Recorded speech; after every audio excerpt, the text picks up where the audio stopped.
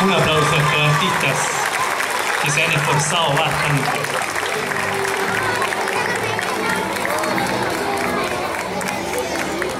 Nuestro colegio se caracteriza por ser una institución educativa católica.